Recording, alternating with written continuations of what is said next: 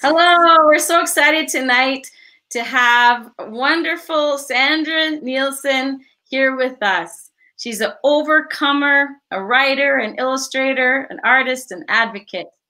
Sandra lives in Sweden and loves fishing, taught to her by her grandpa. She's a go getter at whatever she puts her hands to.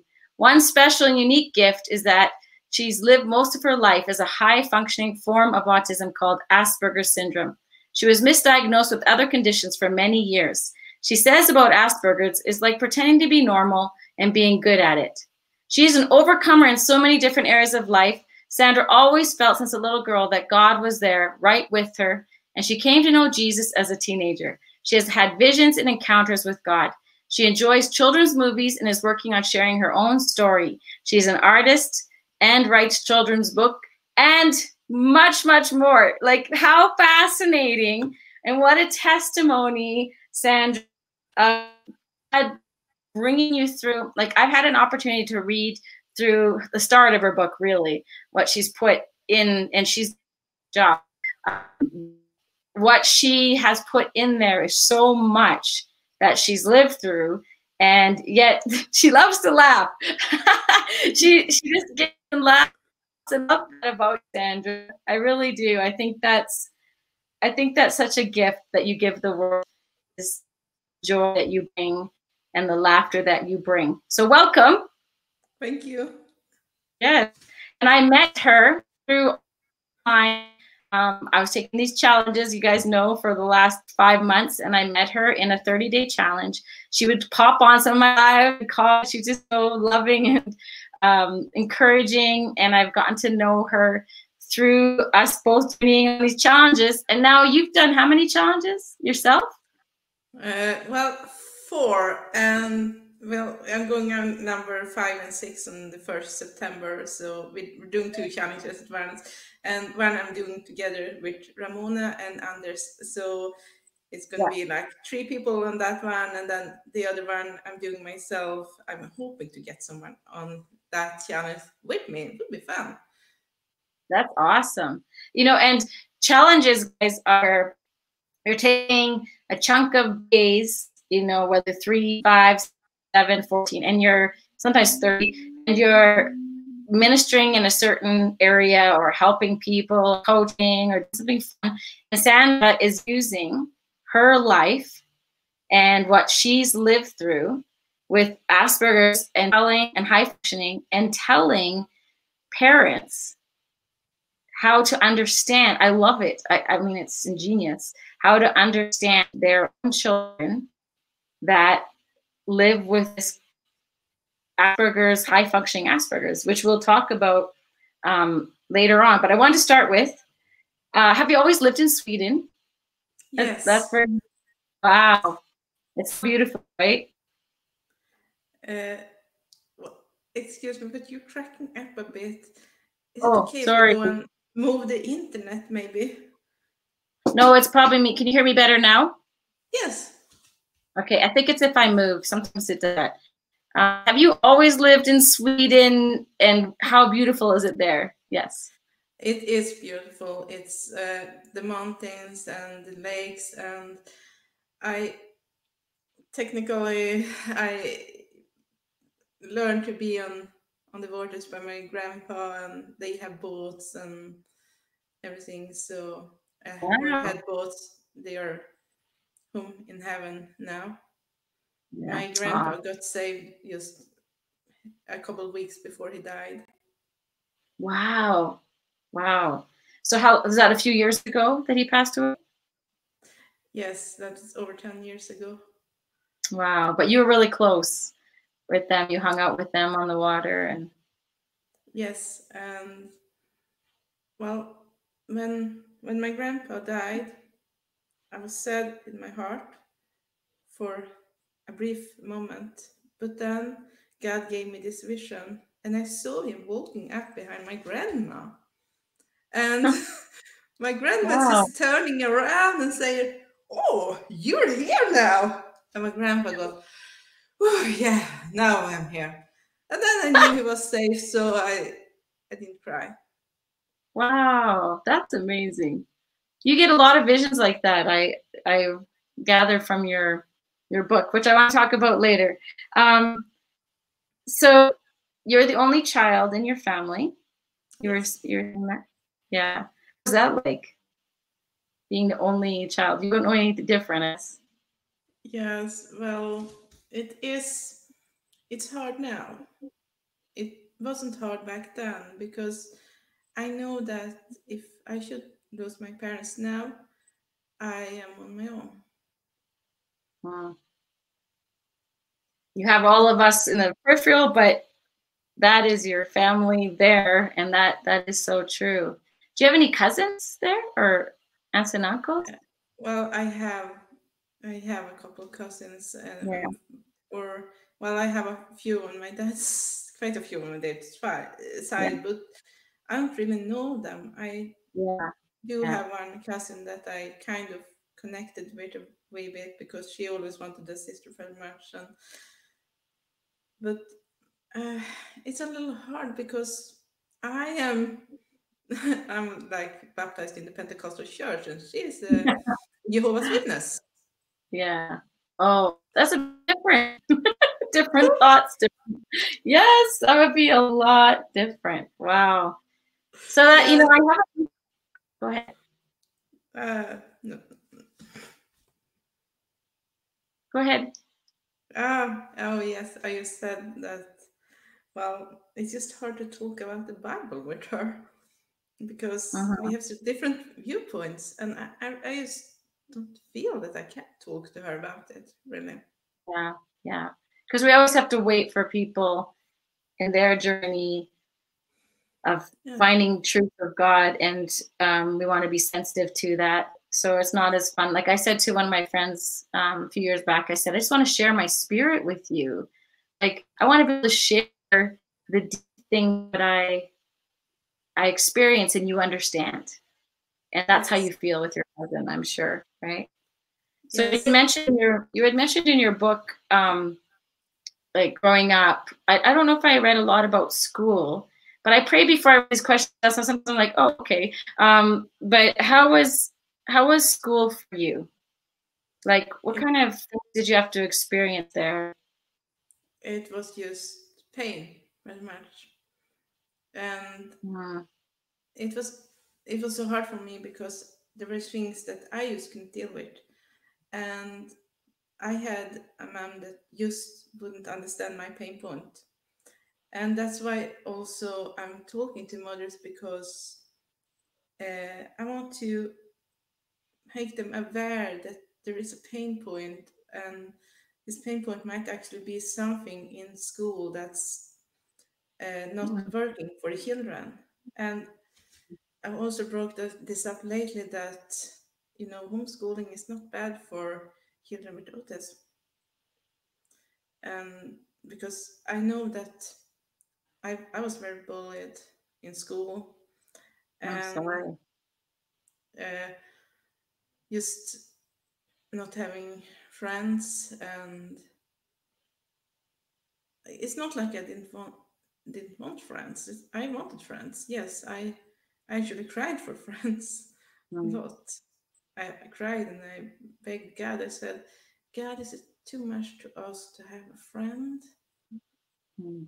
And then, well, technically, God gave me a friend, and He gave me a friend in the church where I spent a year between like high school studies and and elementary school, and that year was simply.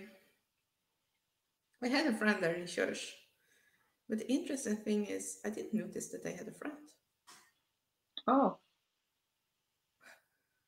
that's but that's I think that's the part of the autism that you can have someone standing next to you and and they're trying to be your friend and uh, if you're too hooked up in in circumstances or thinking about something else you don't even notice that you have a friend i mean i noticed when i wrote my book i realized wait she was actually my friend hmm.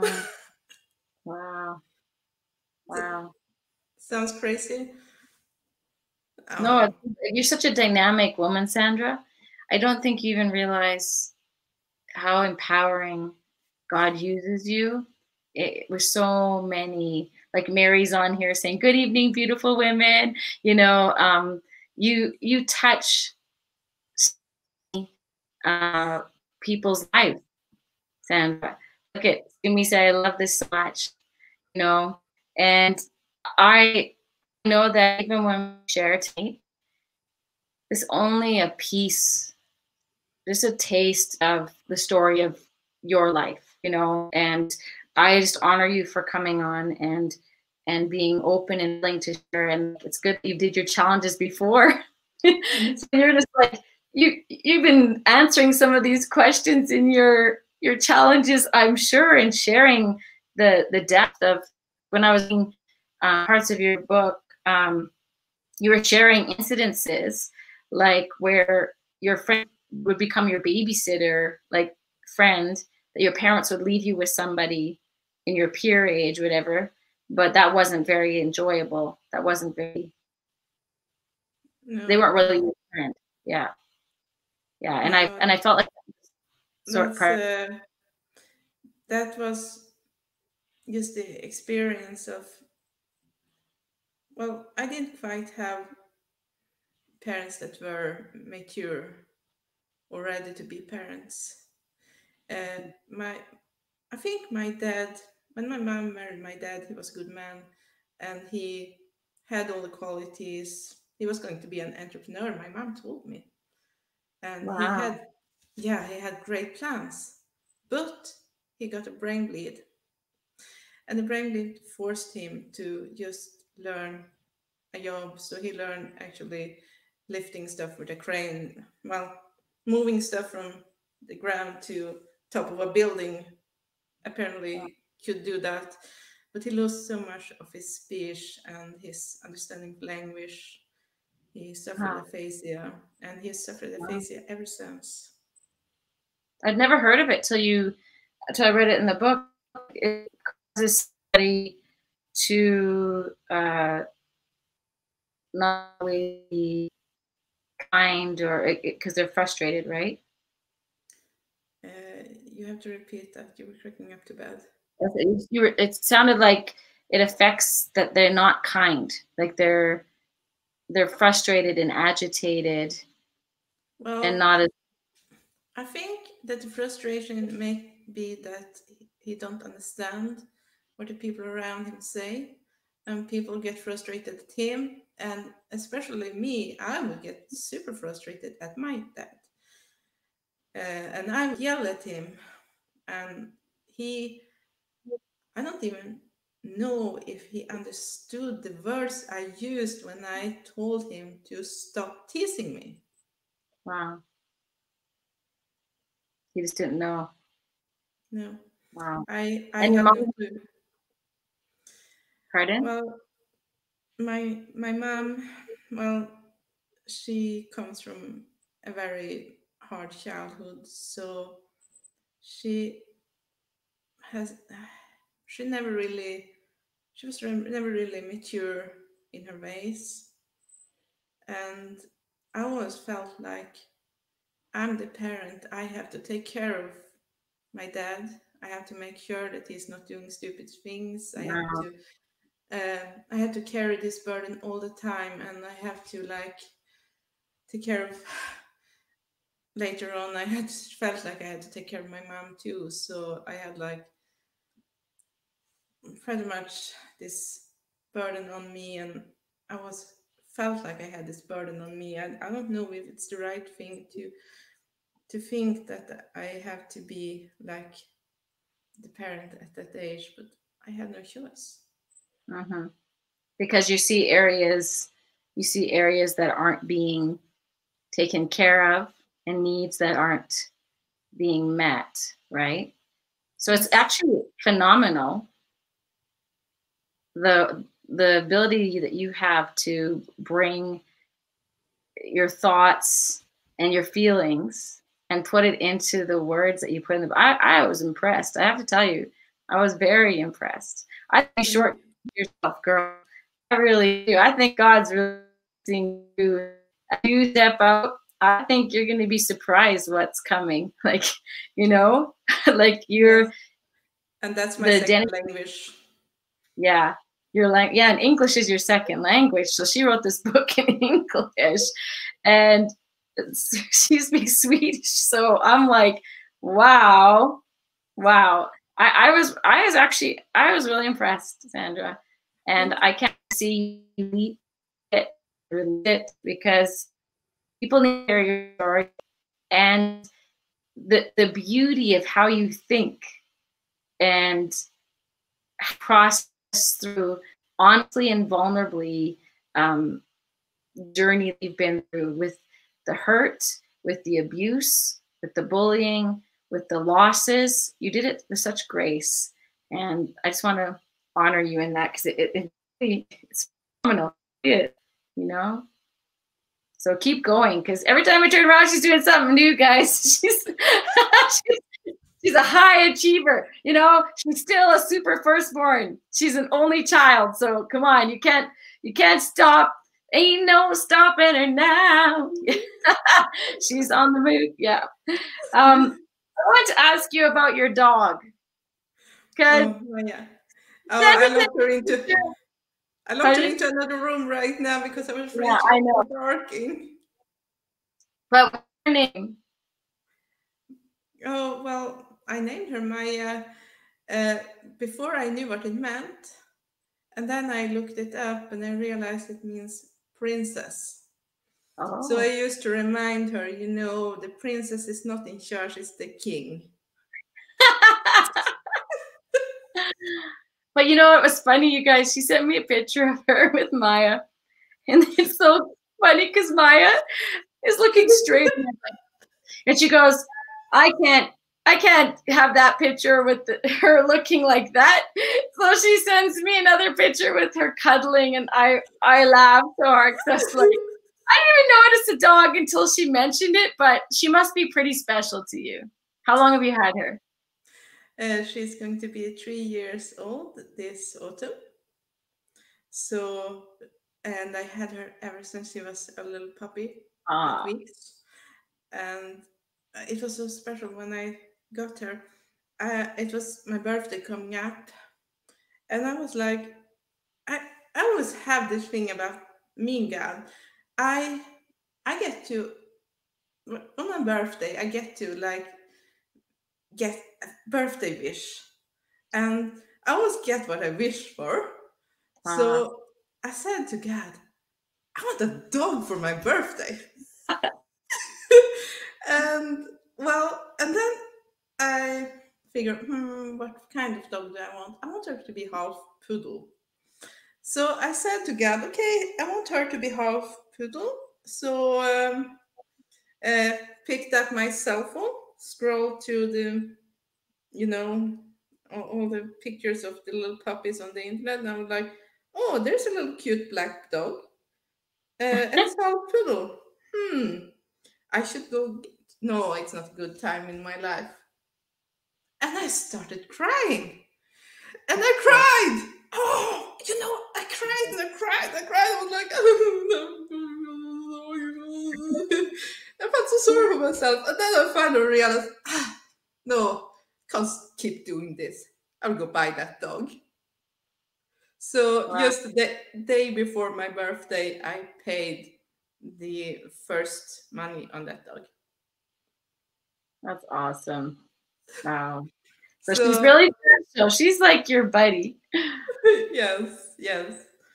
You know, another birthday as as this this little dog is a great, great gift for me. And uh, I'm like, every time I'm out walking her, she behaves like a nutcase and she pulls my arms off and she almost yeah, she has pulled me off my feet a few times and she pulls the leash off my hand and she takes off and I have to like run in the other direction so she will run after me and crazy. But then again, I'm just out there and I'm like, oh, I'm so glad I got this dog. Hmm.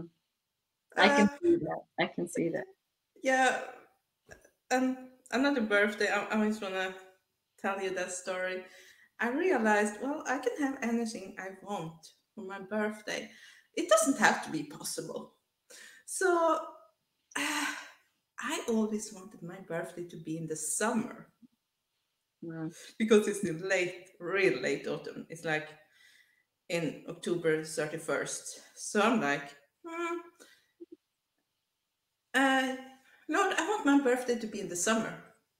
And I always wanted to have an outdoor party, but I didn't mention that part. I just wanted it to be in the summer. And October 31st came, and I wasn't even thinking about it. I was just out walking, and the sun was shining, and it was like summer temperature. And I was like, la la la la la. The ground is clear, and there's actually some green leaves on the trees. Wow. And then I met a couple of friends, and this was in Stockholm, and I was going to Bible school, and they invited me to the beach because they were going to have like a picnic. So I Mm. got my outdoor party on my birthday, and it was summer. That's awesome. That's awesome. I love when that happens. See? Wow. That's so cool. I didn't know you went to Bible college. What, when did where when did you go there? A few years ago? Oh yes. Um, well, when I wrote my book, there is still so much um, heart healing that needs to happen about that Bible school that I didn't feel like I could bring it up because I ended up being homeless during that Bible school Oh, I'm so sorry. and in Stockholm, of all places. Mm-hmm. And but now when I look back on it, uh, first I only saw the pain, and I only saw the anxiety, and I Mhm. only saw this feeling that this this is not going to work, and my faith is not going to last. But then, when the healing started happening, I, I saw what Jesus did, Mhm. and there was this special specific incident when kind of I was walking in the street, or well, incident. I, I just I was just walking in the street, and I was outside, and I realized I didn't have anywhere to go that night, and it's Stockholm, so it's a little crazy place, Mhm. and I. I said to Jesus, What are we going to do? And he starts singing to me. Mm. And and this song that he sang, I'm going to sing it in Swedish, but I'm going to translate it later. Okay.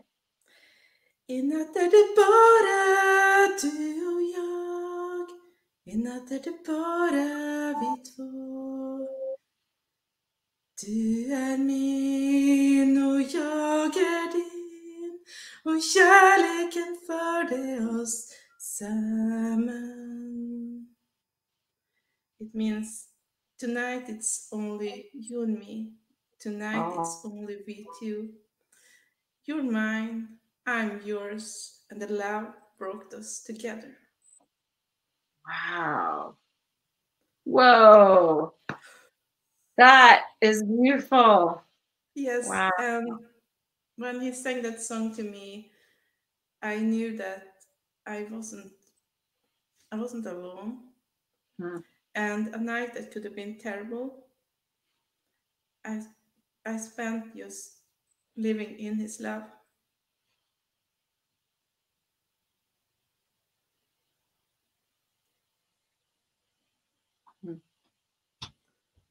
He was loving on you. Wow.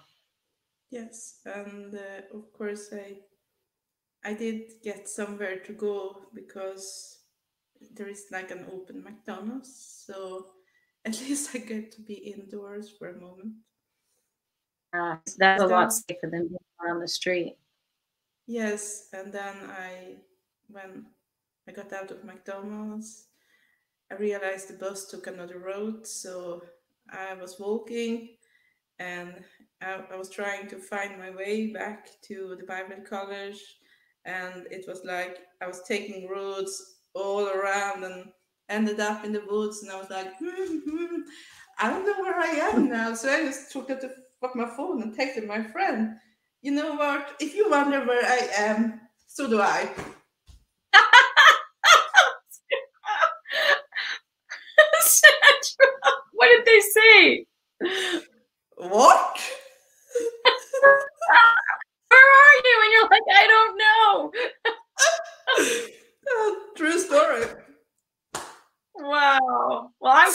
that you are okay and you made it through that. Wow. Wow. Yes, and um, after that, I went to church because it was Sunday, and the church is at the same place as the Bible college, technically. So I went just there, and I fell asleep on a few chairs.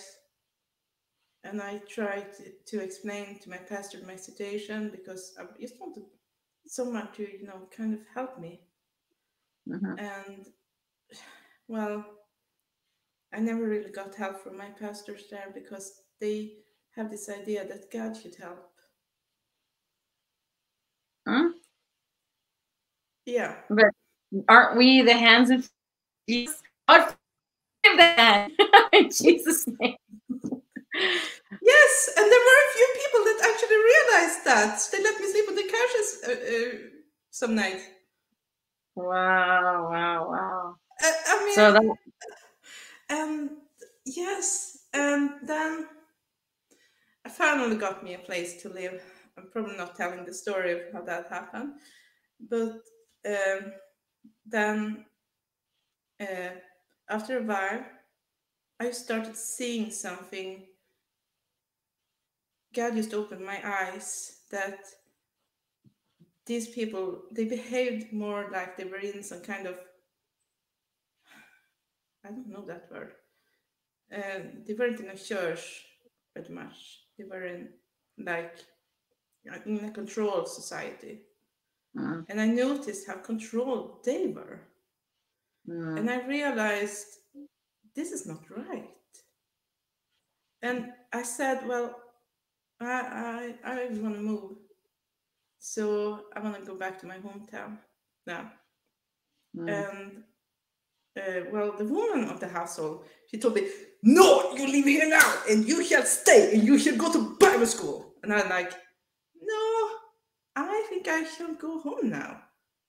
Wow. And we actually had that discussion for a little more than three months. Wow. And finally, I said that, okay, I'm going home now. And well, that was after two months. And she told me no.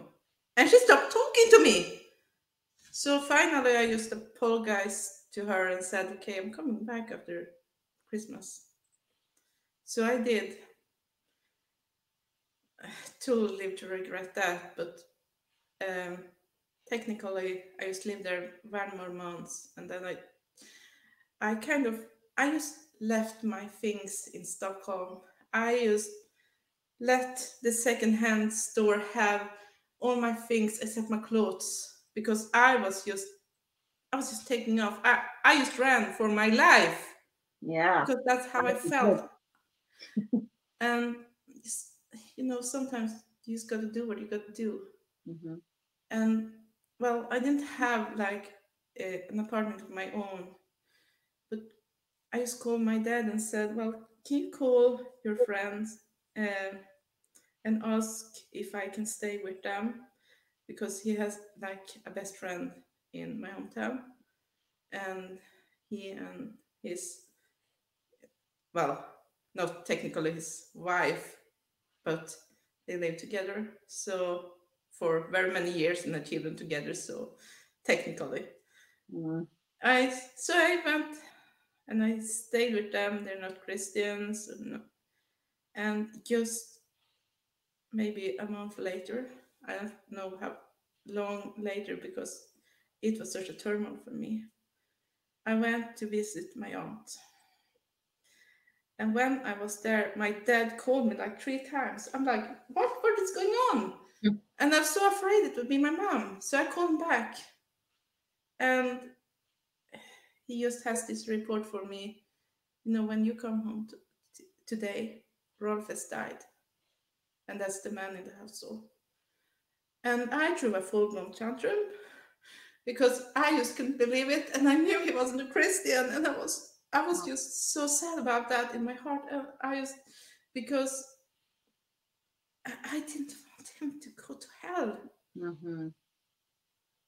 And but what happened was I had to call, I had to make a phone call and tell someone why I wasn't going to turn up because I had like kind of a job, but it wasn't really a job, but somewhere to show up at least. Mm-hmm. And when I called her, she's a strong prophetic woman. She said, Well, I have prayed, and Jesus showed me that because this man took you in, he received Jesus, and he has he has been saved. Mm. And I I really I just realized, yes, that's the truth. And very, very many late late years, uh, like just now, I, I got to say, a few weeks ago, I was thinking about another man who died. And I was thinking, well, he wasn't a Christian either, but he was such a good man. I, I, I'm just so sorry that he died not knowing Jesus. He was an alcoholic lately in his life. Mm. And then God just kind of tapped my shoulder. Sandra, do you remember when you were a child and you were roaming around, didn't have anywhere to go? Did you remember who took you in? Mm. He and his wife. I took him in now. Wow. And I'm like, oh, yes, they're going to have so much fun when they meet up. we have a whole family gathering up there. so uh, just knowing that my dad's best friend is safe, and yeah, I do believe I do believe that it's true because it, it lines up with the Bible. Mm-hmm. No. Well, you know, my brother um, he passed away December 2018. Um, and Christmas Eve, my mom was going through his phone and sent us uh, um, his text messages that he had had a conversation with a friend six months before he died. And it was a gift. It, I tell you, I didn't even know what I was opening before we opened the presents and I start reading and I'm like snot for like I'm like and it was like he had come to God and that God had healed him and he was just too afraid to tell our parents because he felt awkward that he had denied it for so long. It, this whole conversation is it's a gift, right?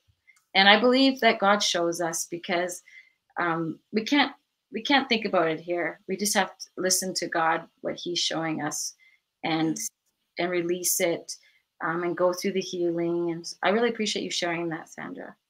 Thank you. Precious. That's precious. Like, wow. It's very precious. Wow. That's a lot of loss in a, a short time there as well. Yes. Um, but just just being there for this woman too after he had passed away. I was there to comfort her. I was there to just be a support because she had this big dog that he would be taking care of normally. And she just couldn't handle him, but I could. And mm. I hmm. mean, we became best buds. Mm. So he totally submitted to me. Mm. Uh, I hmm. mean, great Labrador Retriever. I wish I could get my Maya to submit to me like he did.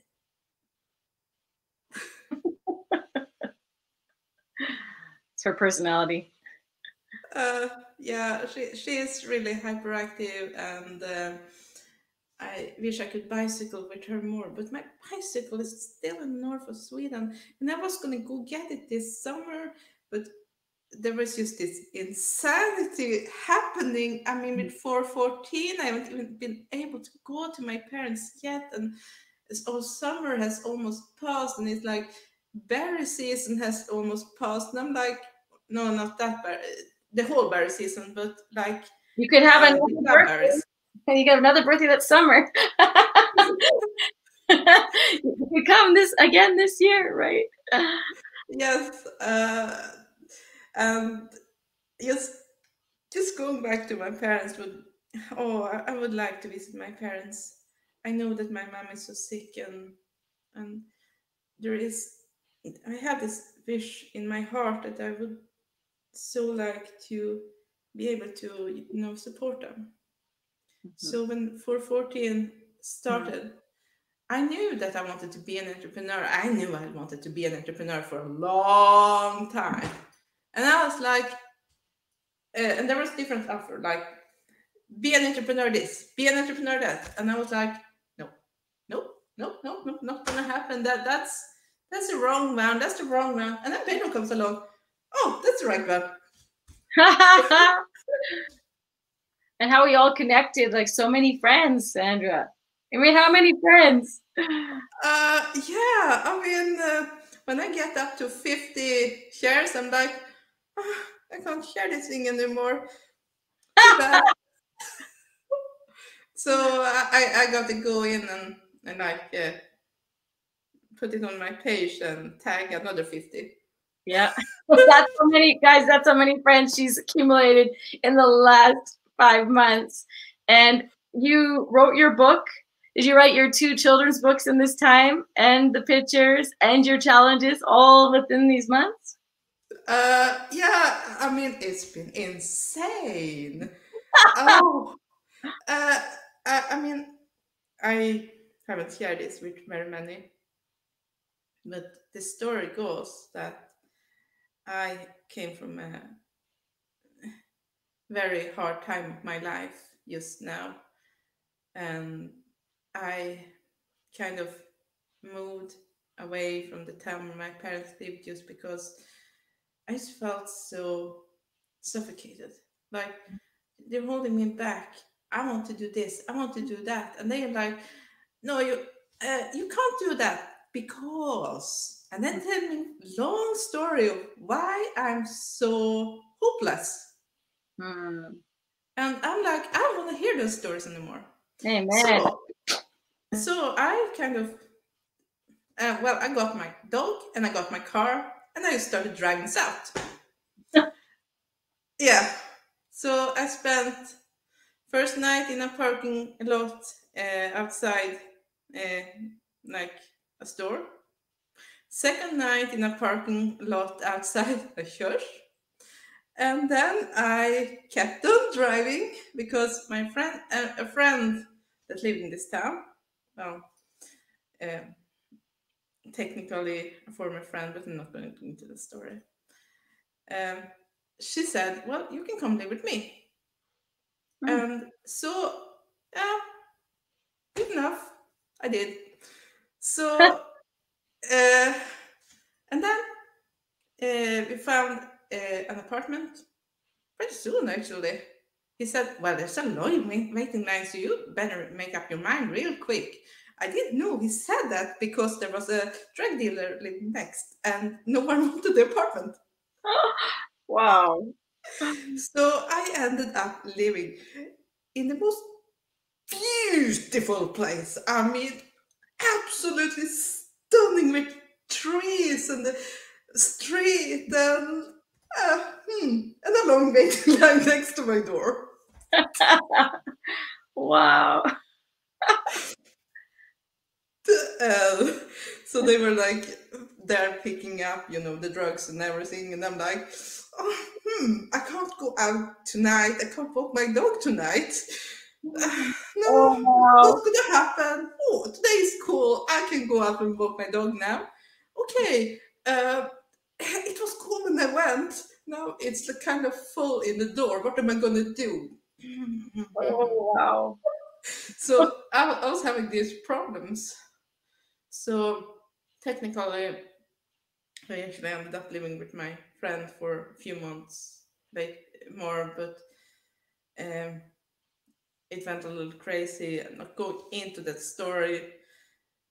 It's just, yeah, just not going into it. Mm. And then we found this apartment. And the landlord lives next door. And it's so calm and it's so peaceful. It's just as peaceful as the place where I grew up. And God just kind of moved me from the bottom of the town to the top of like, I mean, people here are so wealthy that they are like having people coming in to do their they coming in to do their yards and i'm like I see like cars coming in and people jumping up and go like, oh, go all over the yard and fixing everything and trimming everything, and I'm like, and then they jump back into the car and they go to the next house. I'm like, uh, okay, so that's the income level I moved into. Hmm, I'm gonna get trying to make a point. and then uh, I also saw that people here actually have horses. There are wow. of horses here, and it's just such an amazing, beautiful place. Lots of grass and lots of trees, and I'm like, oh, this is this is stunning, and this apartment is so nice and it's so wow. big and it's so bright and I, I love living here and awesome and uh only problem is I kind of broke up with my friend but that's I had a very good reason I'm not telling you um honest mm. so I well, since then, I haven't got like a real life friend, but God gave me like countless online friends. So I feel like, yeah, I feel like I hang out with a lot of people, and now that I think about it, I think the landlord wants to be my friend, but I, I never thought about that. you got to give him a copy of one of your books. Would you like to, Would you like to read from your book uh, now? I'll, I'll I'm I'm not disappearing. I'm just moving out. So do you have it right there, where you're going to be? Yes. Uh, um, I just I don't know if this um, chapter has been edited yet. I don't remember how many chapters we have edited, but I hope it's been edited so that you will have some proper English in it.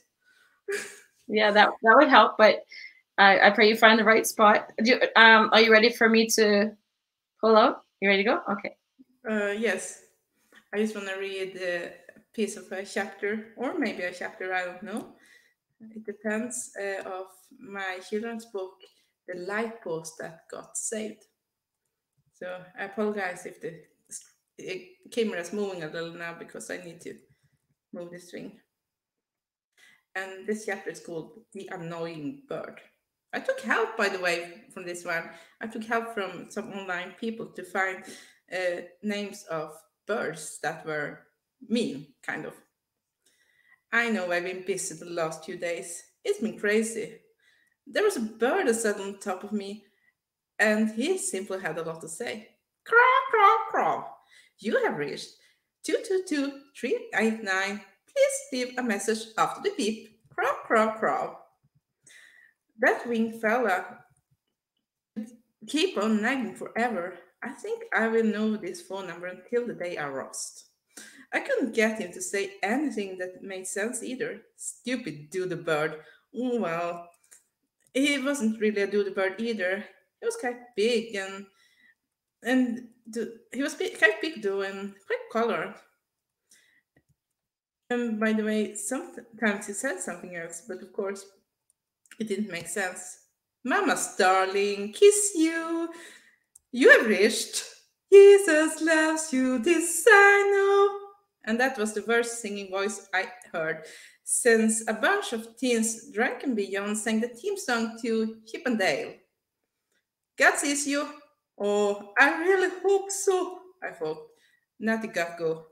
So after he had been seated there for a few hours, he flew away and ate a little in a tree, and then he returned. That sees you. How convenient. Please send a thunderstorm to this bird. We'll be fried chicken soon. I can't stand the blab math. That's that's when a dog came and peed on me. Thank you very much. There are trees. Pee on them instead. They might need a little what you pour out, but I'm made iron. I'm a light post, not a toilet.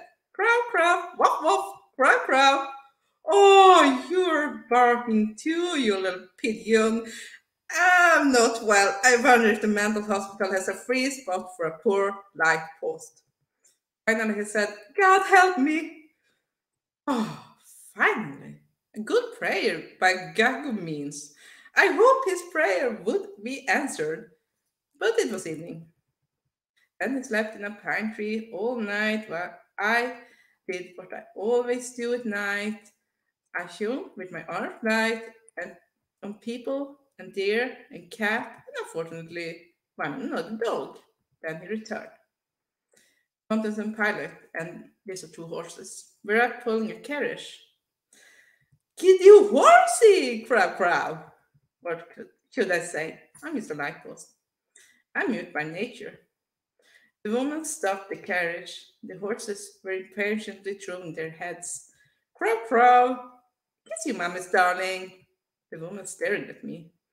You look pretty much like if you were thinking, I never heard a Lightpost speak before. The mouth was wide open, like the hole on a bird's nest box. Hi, you have reached an answering machine. I see you now, the woman spoke. Was just about to roll the carriage when something in her face was starting to realize the absurd thing in the fact that the light post has his own answering machine. He looked up at me again. I was like laughing a little on the inside. This was quite comedic. Jesus loves me, the stupid seagull started. I just almost got an electric overpower and died from laughter, but of course you can hear that. That's when she spotted the bird. The following days was full activity. So that's as far as I wanted to share. so cute. the light force you get saved. Very interesting perspective. What made you what made you think of writing this about the light post? Well, Pedro said, just do something. Hey. So I took uh, a few notes and I started writing up words and I threw them into a, a pot and I put it on the table and I drew three words and I pulled out light post, orange, and horse.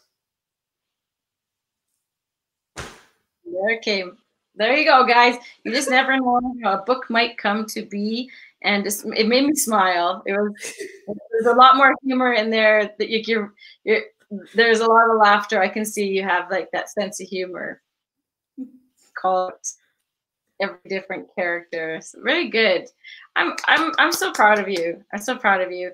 Um, I have a question that um, I think is the most important to you, uh, because you mentioned in your book that you feel you always felt God there since a small girl, um, but you didn't know Jesus. So could you mm-hmm. share with us that journey of how you you knew you felt God was there? He, you probably even heard him, but how you came to know Jesus.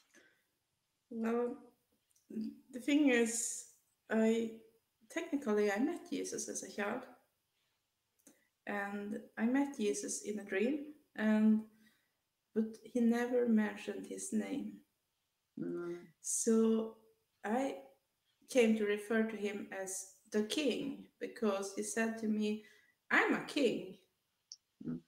And then he showed me, well, he showed me just the world and all the evil in the world. And he showed me, well, technically not all the evil, but he showed me a very evil world. And he was just walking next to me in this evil world. And then he showed me a Great Depression. And he showed me also heaven.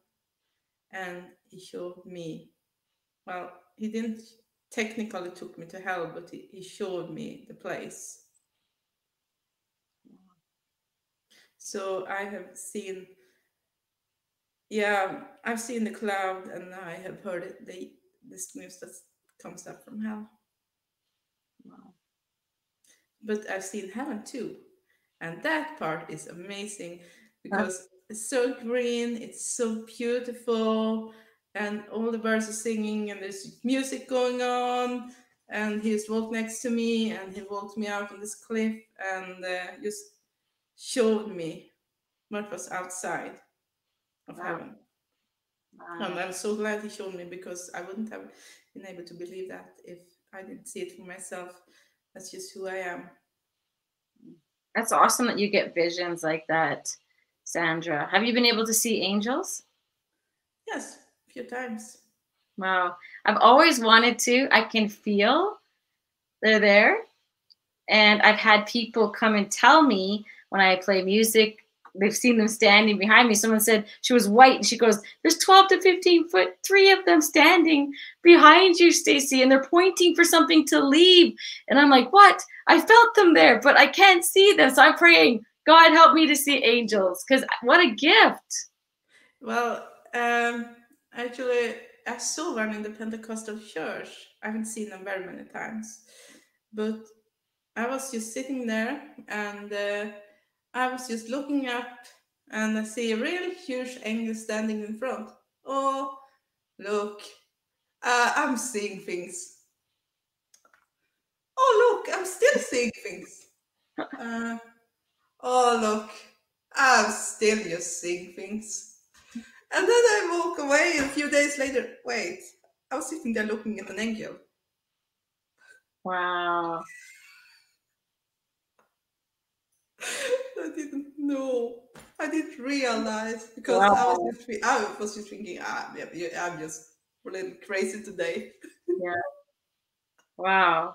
But you know, my of my children see uh spiritually. They can see the angels and the evil. And it's scary sometimes when you have dreams because um you have to be really pray protection. Like God's gifted you, Sandra, as a visionary, like to see visions. You know, I haven't seen very much in the spirit lately, though. Um, I you're working so hard. I, I think that Lord, the Lord, maybe be prote- protecting me a little bit right Yeah. now because He knows that uh, uh, the position I just came from. Uh, I haven't shared this with very many people, but just before 414 started, I mean, I had come out of the mental hospital because of a depression, and I was on social, wow. I was on social security. I was sick of it.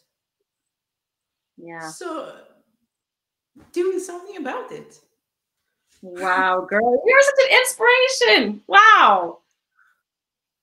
And I mean, that was crazy, and uh, I I hated I hate just having just enough to live on. Me and the thing is, uh, when I started out as an entrepreneur, I kind of I wanted that healing that God had for me from autism, and well, I just felt like I don't know if this was God or if it's just me, but Sandra, you can't keep your um, disability money and be healed. And I'm like, or you, you can't keep it when you're healed. And I'm like, okay, I'm sending in the papers. So I sent in the, a paper just like, I want to get off the disability money. And that wrecked my finances. Wow. So my finances have been wrecked for a few months now, but it's just starting to turn around. I mean, I'm getting an income from the challenges, and Yes. uh, so my bills are starting to come. Well, they're not exactly. I'm not exactly cooked up with everything, but hey, I'm starting to get cooked up with my my bills now. It's a pivot. It's a pivot. It's literally a pivot in your life. um, yeah, it's turning around. Yeah, from what but from before 414 and what you were going through Yes. to those 30 days of in 414 guys is Esther 414 talking about such a time as this. And it was a 30 days of being taught like as entrepreneurs and from Holy Spirit. It was amazing. It, it's life changing for me. You've heard me talk about it if you've been on any of my interviews. And that's how, where I met Sandra. And she's telling us that something shifted in her. The dream yes. that came alive to be an entrepreneur is happening. And what you've accomplished, Sandra, in the last few months is way more than most of us have. So I I just we celebrate, right guys? We celebrate. Like we just cheer you on because this is just the beginning, baby girl. This is just the beginning. Yes, this is just the beginning, and uh, uh, I do believe when um, there, there, was this guy that was on uh, Pedro's call. He's a mentor of Pedro, but I don't remember what his name was. Anyway, he said that um, you know you should set a financial goal for the next month, and I was like, setting a financial goal for the next month is really hard because I'm working on a children's book and uh, it's not going to work. Uh, I'm setting a goal for the end of the year instead. Mm. I want to be a millionaire in Swedish terms by the end of the year. That's like a hundred thousand dollars. That's doable. Uh, well, it's uh, I'm like way behind, but uh, the schedule. But okay, God is still God. So, and then uh, Graham Cooke comes on and says, "Even you should ask the Lord for a promise for your business." And I'm like, "Okay." Peter says, "Okay, let's make that homework." And I'm like, "God, a promise." Um, you're not getting one until you go get the canvas in color because you're you're painting it. wow. So, uh, well, I had a little money in my purse, so I got into my car and I got there and I just booked the canvas and booked some colors and I was like looking for pencils. I'm like, God, I need pencils. No, you don't. But. God, I need pencils. No, you don't. But God, I need pencils. No, you don't. So I went home uh, and I got my promise. Is it okay if I go get it? Yeah, I want to see. I want you to show it.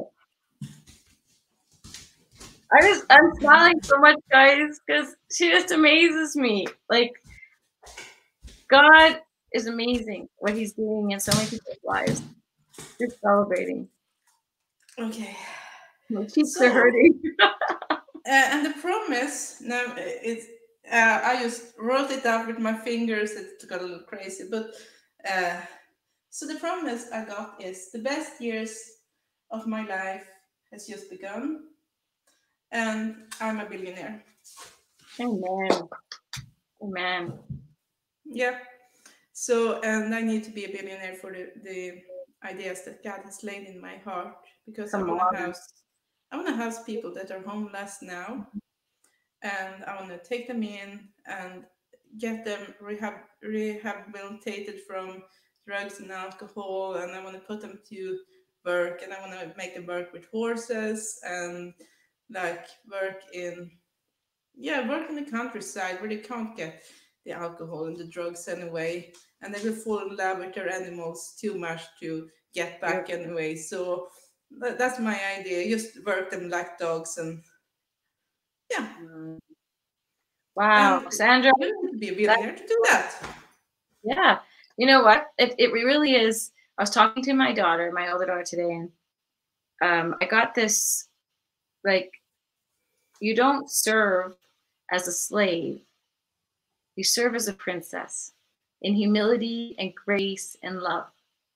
And mm-hmm. there's something about knowing who god created us to be and i believe so many people that know jesus so many are so depressed and so discouraged because they think it's about the money right? But then i heard this message the other this beautiful lady in 414 um, she had a challenge and i went to it. She sent me this teaching about revelation calculation and operation. And it just 10 minutes long. And it was like listen to what god's showing you right then she says so get the revelation she says then get out a pen and paper and calculate without any money with nothing just write it just write okay i need a I need a farm. I need a ranch, right? I need some animals. I need some staff. I need a cook, right? Write it all out. She said, calculate what is the need. because yeah, I need a village. I I need apartments. Yeah, I need houses. Exactly. Yeah. Uh, so uh, I mean, I need uh, like a restaurant. I need a church. I need pastors. I, I need. Uh, well, technically, I hope to marry the pastor, uh, whoever he is. I love it. the, the thing is, uh, God has promised me a son, so I do believe that means He promised me His father too. Mm. So uh, technically, just waiting for him to come around and find me. But I do have a question that he needs to answer first. And oh. that's and technically I named my son, and I do believe that the Holy Spirit is going to give him a revelation.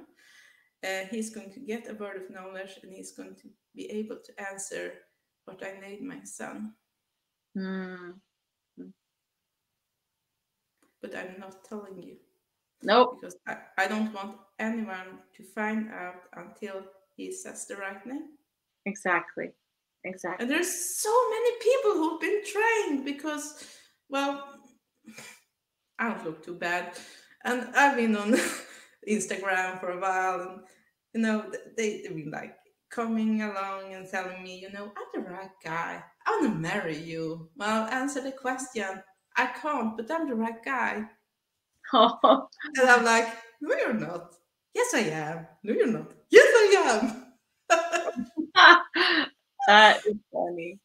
Sandra, you're such a pleasure to have on. My cheeks are literally hurting. I like I'm I'm just smiling because you bring a lot of people. That is it that you is to bring a smile out of others. Well, you should smile more because then you exercise the muscles. Yes. It's very good for my face. Maybe it'll make me look younger, right?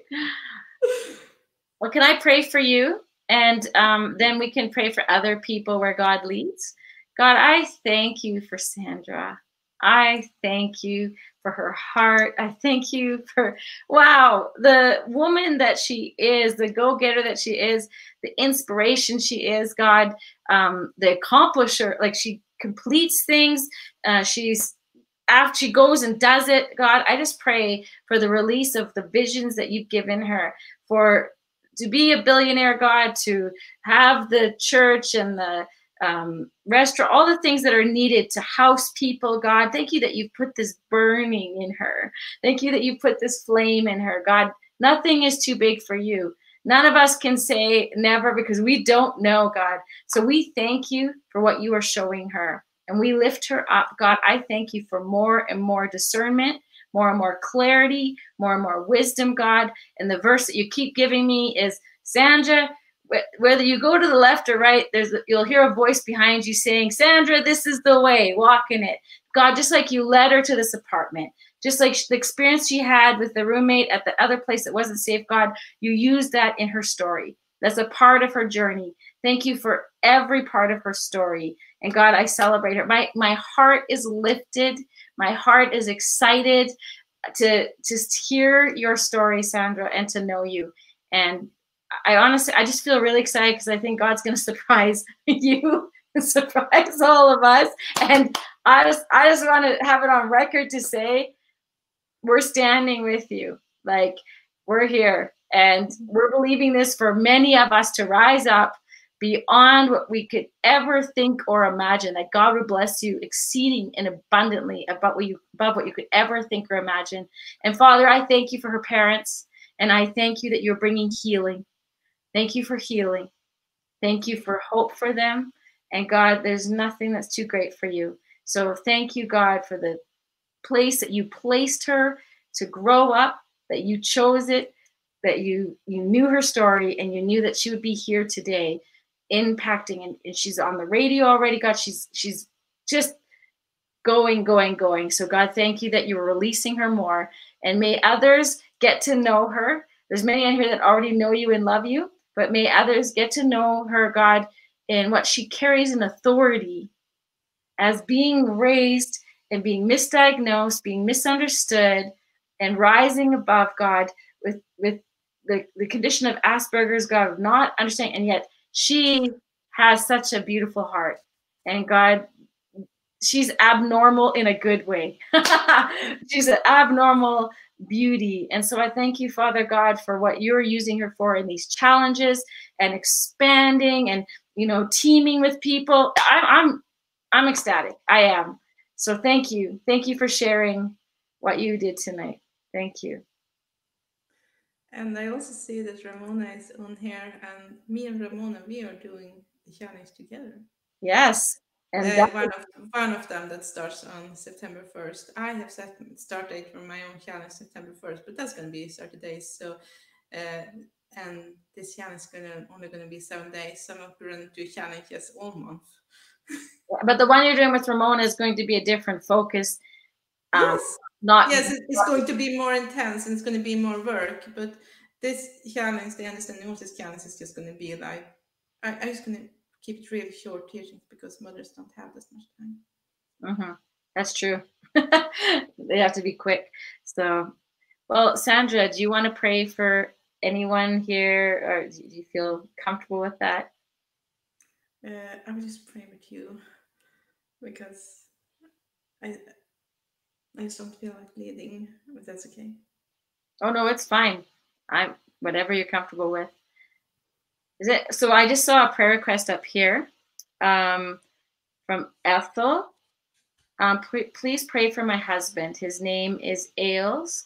He for him to come back to the Lord, his heart to be softened instead of a rock. So God, oh, thank yeah. you. Yes. Yes, Lord. Thank you, Father. I think I might be leading this one if that's okay. Mm-hmm. I just felt that, Lord, you know, thank you, Lord. Thank you, Lord, for this prayer request. Thank you, Lord, that this uh, is the woman that's supposed to. Yeah, it should be. It's your husband, right? Yeah. Thank you, Lord, that this woman dared to post this prayer request in this thread and Father, you know, you know this rock heart.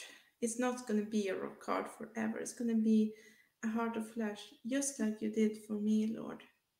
Just like you took the rock out of my heart and put a heart of flesh in there. You gonna do the same for this man. And I ask that I ask that bad behavior shall just be broken off and I ask that you shall be the Lord in this household for real, Jesus. Amen. Mm-hmm. Thank you, Jesus. Mm. You know Christine, Christine Kerr. She's my friend from Calgary here. She's in the 100X too. Please pray for healing for her knee. Oh, okay. Father God, Thank you that thank you that you have sent Jesus Christ to die for all our sickness. And I just ask for healing for this knee. Jesus' name. Amen. Amen. And Father, I thank you for alignment for Christine. And wherever anything came in that was um, twisted um, emotionally or physically in her life and surrounding or spiritually, um, that emotionally impacted her heart.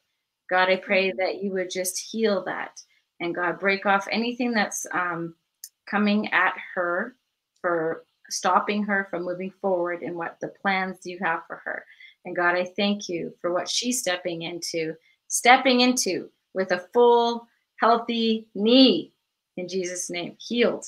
Thank you, Jesus. Anyone else need prayer? She said thank you. Sorry, my feet are kind of starting to hurt. I can't believe you stood up saw I, I don't know if I could use one of those standing desks. I don't know if I could do it or not. Well, it's technically it's not a standing desk. It's a tower. Oh. Uh, it's a table and a chair, and on top of that is some kind of a bowl. And I, I love it. Oh, mine, is, um, mine is on top of a keyboard and it's like a box and then a Bible. yeah, I, I took a picture and sent it to Ramona before I started. She said, That's beautiful. yeah, it's, it's a it's a, look it's a little insane, but everybody starts somewhere, and I do my yeah. challenges standing in this corner with this tower. I have the same situation. I we do with what's in our hands. You know, let's let's pray for um, the ladies on tonight for provision to come for all of us. That uh, God would just show where the next steps are. You know, for resources and.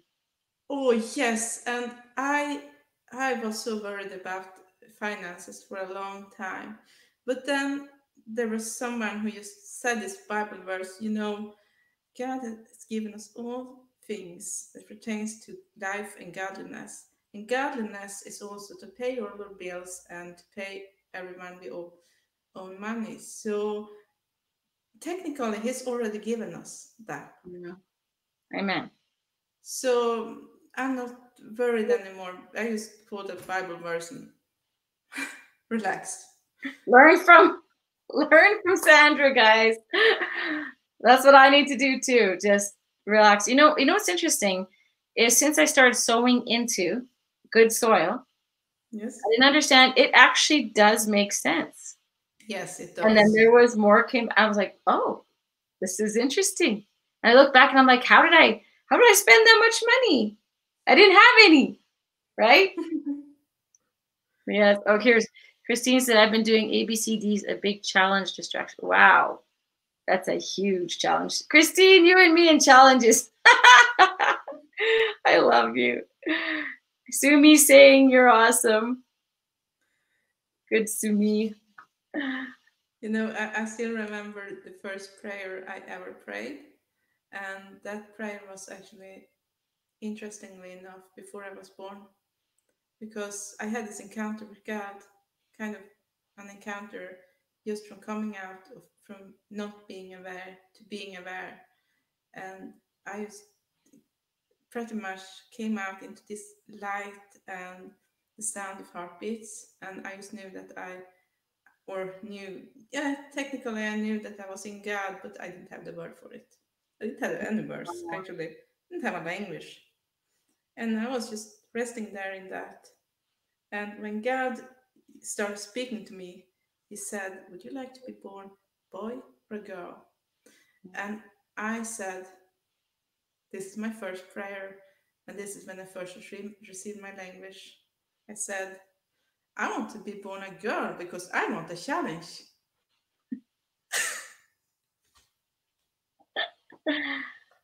I know it sounds crazy, but that, that's no. I actually have friends. I actually have friends that have told me similar stories. Oh yes. Yeah. So yeah, that's profound. But I don't have that story. I wish I did, but I've heard other people share it, and I thought, wow, that's amazing. yeah, well, coming to life, just having this memory and carrying this memory in my spirit all the time, that made me never, ever doubt God. Mm. Couldn't, and I wouldn't. Even if I could, I wouldn't, because that's just insanity. You know, the fools says in their hearts that there is no God, so I just don't want to be a fool. Mm. Mm.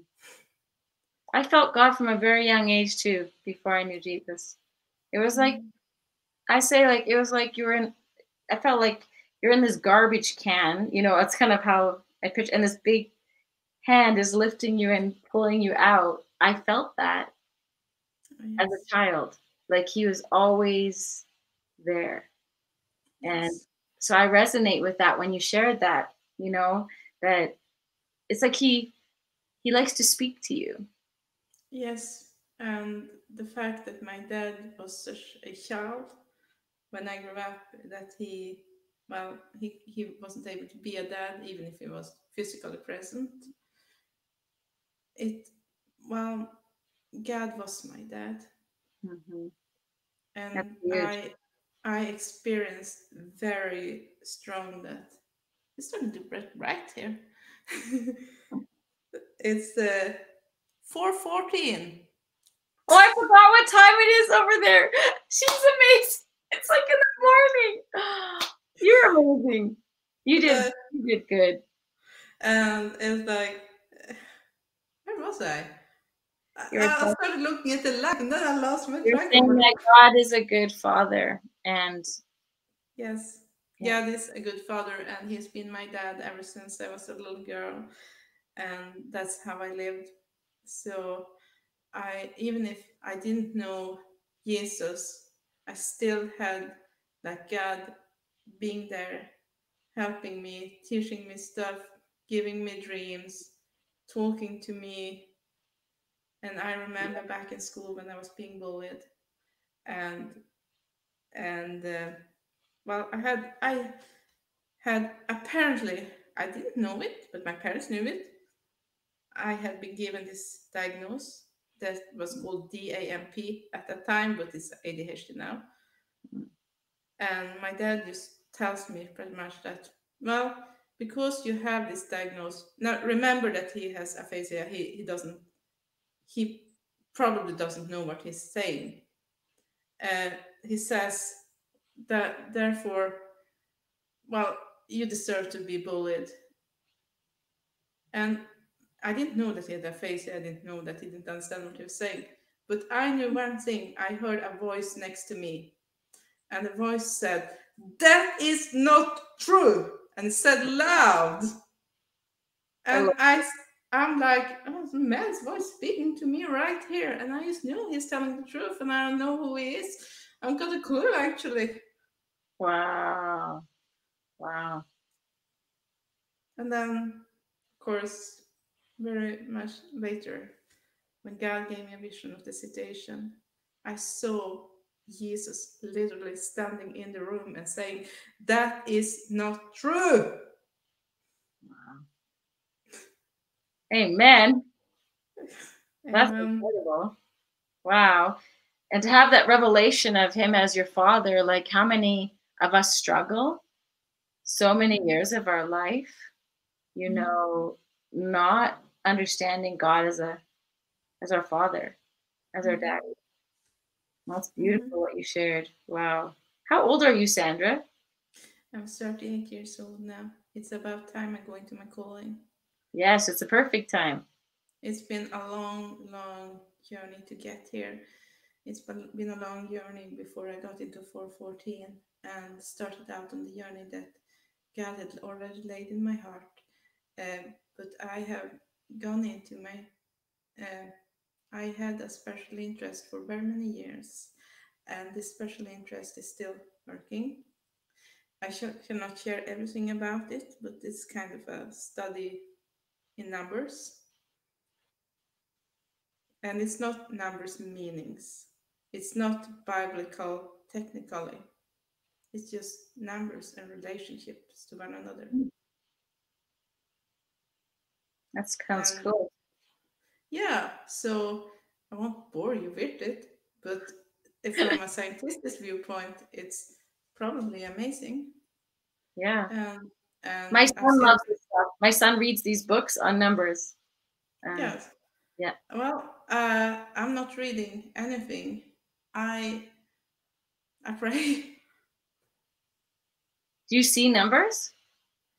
Like Uh, color? My son does. Like he sees them spiritually. No, not that way. But I, well, the Lord, the Lord is showing me things about numbers, Mm. And I was in a roadblock, and I got a dream. He showed me something specific, but I'm not telling you what that was because this is secret until I get to the university. But it was a certain number, and I got to this play, place like I know this means something. So I started studying it and studying it and studying it. And one day I was just at my work, I was cleaning, uh, had a cleaning job back then. And I was just standing there, we were getting ready to clean. And then it just came revelation to me like that. So I did like a, a dance. Ha! And the guy who was with me, he just looks at me and says, "You know, it's good that we are in the right house and not in the other house right now." He had a very specific sense of humor. Yeah, I, I just love him, but um, well, he is a little special. yeah, that sounds fascinating about the numbers. Um, my son got a prophetic word for me, number for me, and I thought it was like 1, 2, 15, no, 23 numbers. And then he broke them all down into the order of the numbers was very important.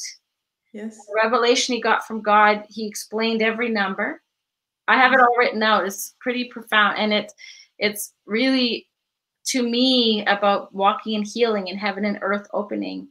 Um yeah, it's so numbers are like I I hear about it from my son and I believe God uses it without it being that weird, you know, that weird stuff um, because science is it comes from God, you know, and we worship the creator of Yes. All- not all not all science comes from God.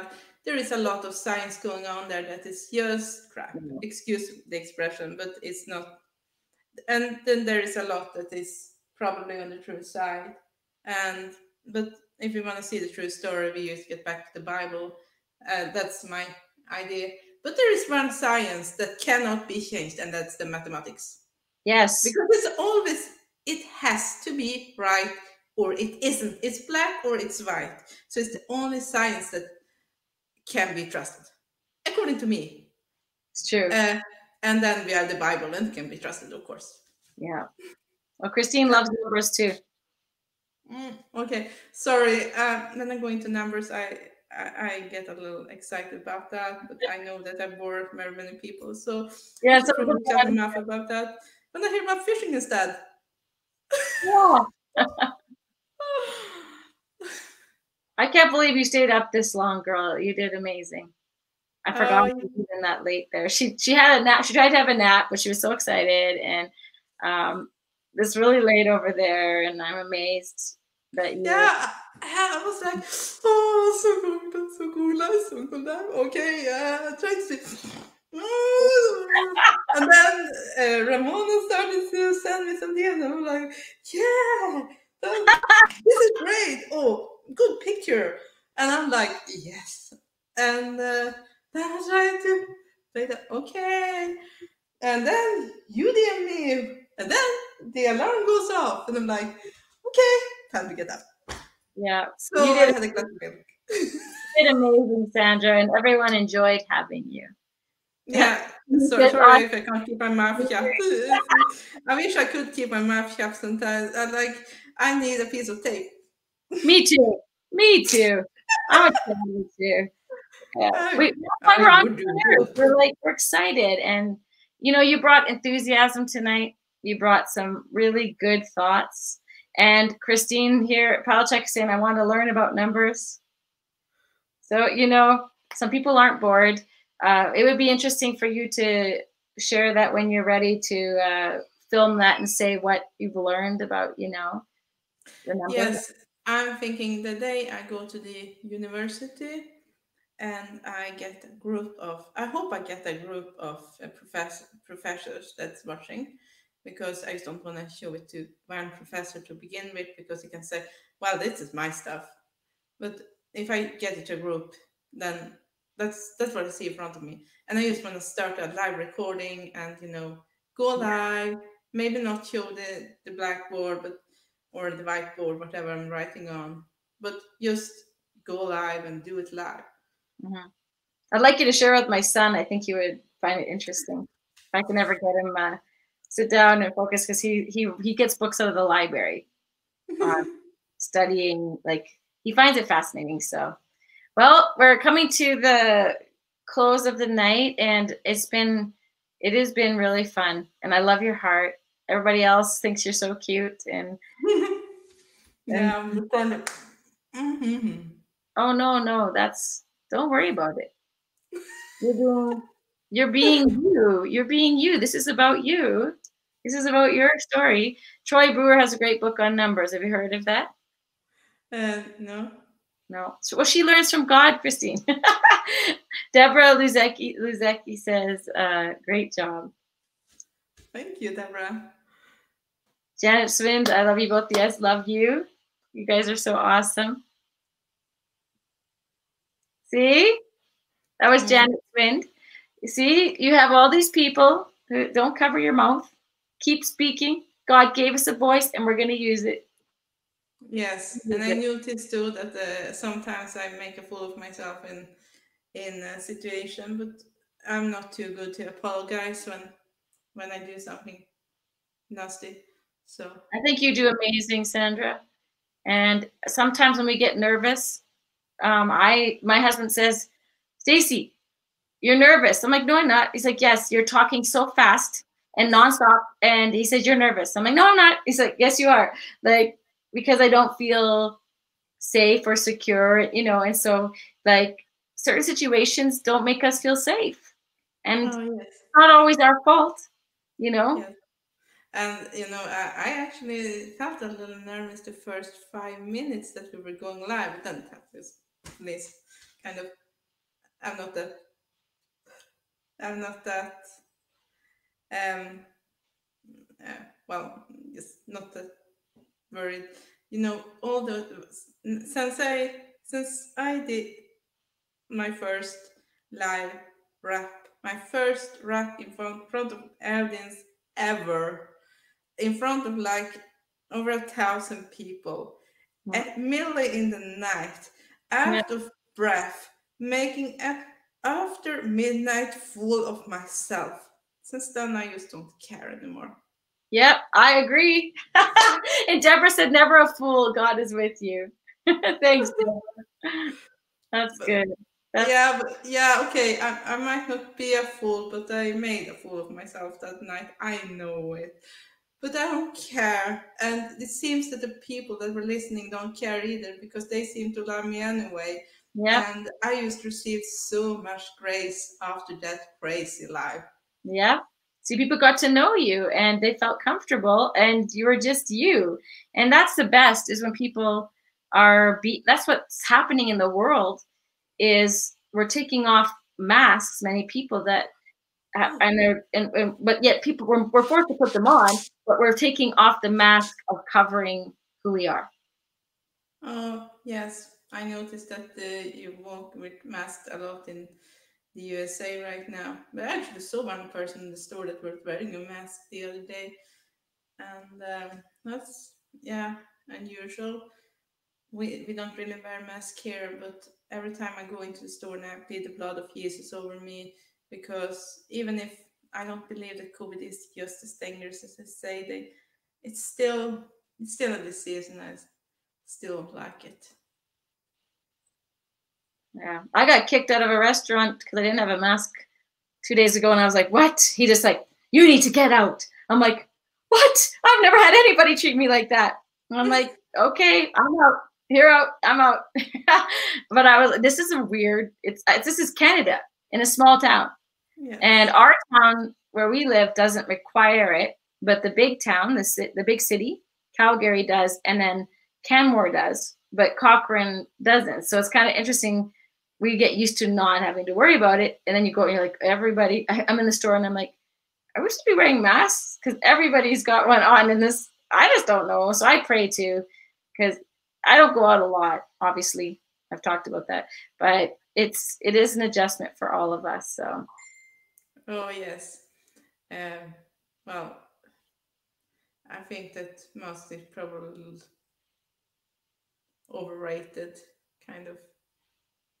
That's a whole conversation. Like in the world, there's some people who are like adamant about it. So I don't get into that kind of conversation. I just talk about how I feel, you know, yeah. personally. It's just, yeah. it's in my 51 years, I've never seen what I'm seeing in this world. And for you younger people, like my kids too. I'm like, wow, you guys, as you look back, like in my 20s, I never saw this, you know, so it's a whole journey. But I try to focus on um, what is God saying to me, love, you know, inspiration, encouraging people. That's why I keep doing the interviews and having people share their stories so that it's oh, up. You, you're doing great. I have seen some of your interviews and you're doing Thank great. You.